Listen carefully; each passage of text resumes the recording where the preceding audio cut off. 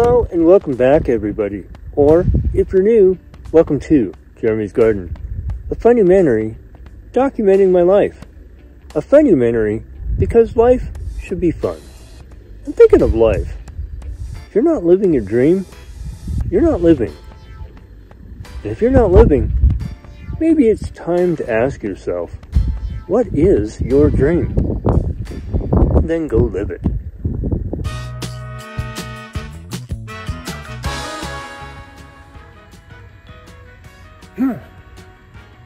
Whoa. What am I thinking? Don't take a nap.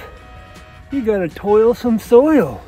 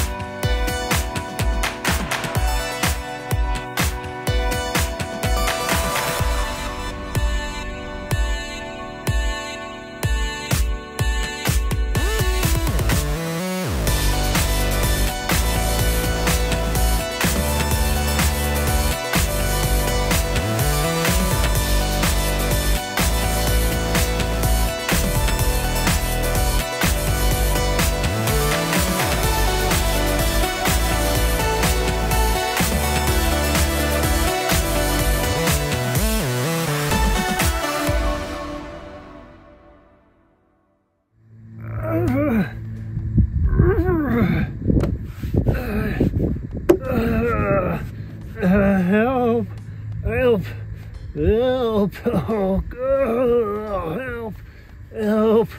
I can't get it up.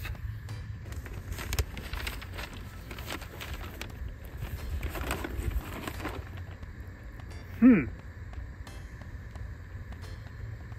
Can't get it up, huh? Yep. Don't you worry. I got you. All right, just hold on just one moment.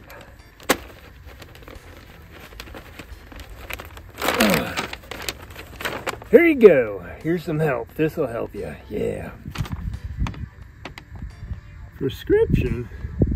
What on? What? Blue pill? What?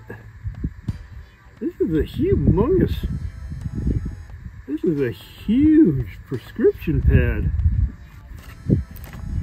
Why is it so big? Well,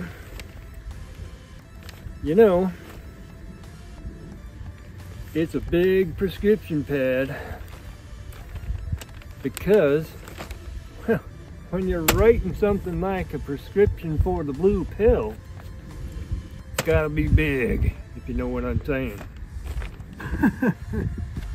uh, yeah, um, I probably shouldn't have, um, I probably shouldn't asked this, but uh, why is the blue pill written in red ink? Uh, do I even want to ask that question? Yeah, well, you know. I used the red ink because, well, the blue pill will get your blood pumping. Oh yeah.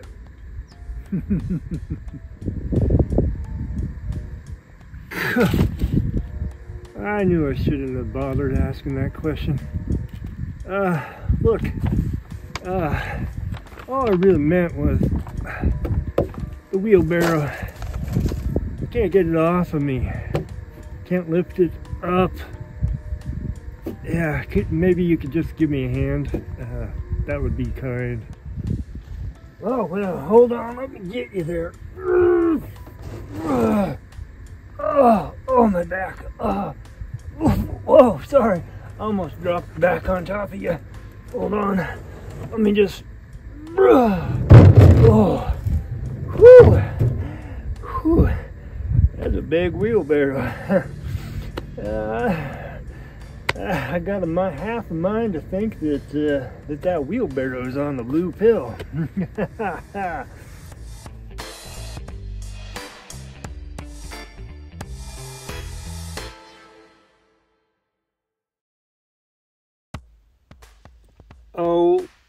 what a thing of beauty. Oh, yeah. Uh, no more dip in the road.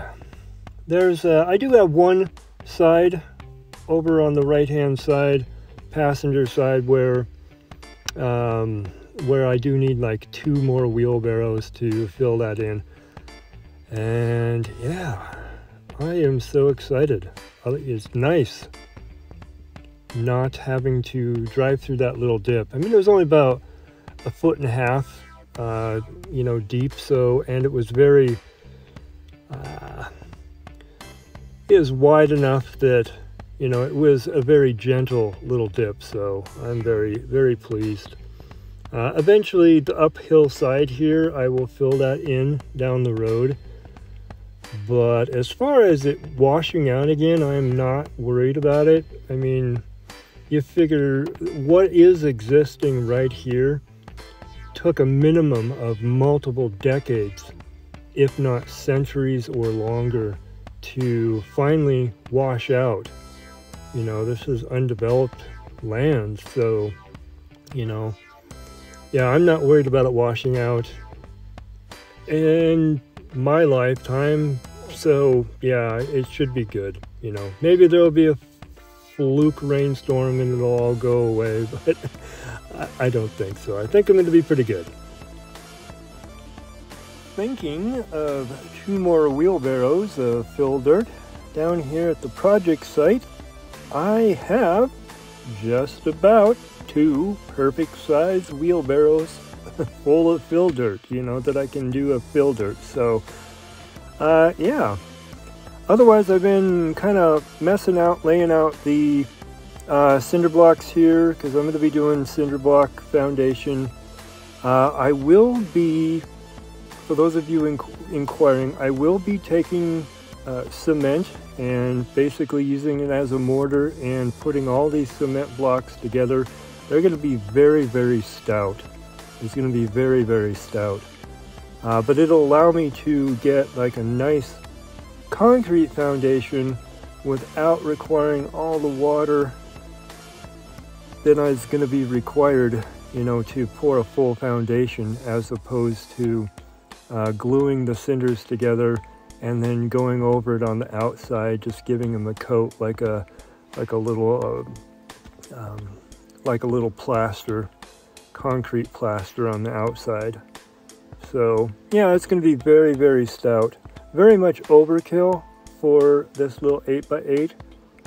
Uh, but you know, I figure I'm going to build them to be here for a little while, so that'll be a good thing. But I do need to buy some more cinder blocks. Yes, I do, I do. Wait, don't go away yet, Jeremy. What about fill dirt around the foundation of the 8x8? Well, this is the original 8x8 that was going to get extended to an 8x12 and then to an 8x16 with the necessity of making it a larger building I need to have a better foundation. So I had to take all the bricks out and basically I'm starting from scratch. So I'll be digging out all of this for foundation. So I will have a lot of fill dirt that I can use on the other building. And then I'll have plenty in the center area of this building, uh, you know, to stockpile and then put back in around this building once the whole foundation is set up. So yeah, some cinder blocks and some concrete and it's gonna be stout little stout little buildings. All right. Alright, thanks for watching everyone. I had a lot of fun making this video and I hope you had fun watching it. Uh, I'm a little late coming out with my video, but uh, my poodle, Gigi, she's 20 years old, soon to be 21, has had a little bit of hip issues. And so I've been trying to figure that out, uh, talking to a vet and all that stuff. So, you know, trying to trying to work with that. So she's also deaf and blind. So I just want to make sure that she's comfortable and all that. So, because she needs a little extra attention. Uh, with that said, click like, hit subscribe, and if you are so inclined, I do have a couple of donation links in the show notes. Uh, there's also a Patreon, and yeah, um, you know, till next, huh? Get out, dig in, and let your worries melt away.